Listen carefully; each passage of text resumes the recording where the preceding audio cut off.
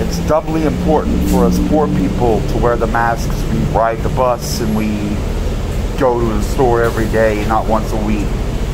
Like, would you mind? We're trapped on the bus together.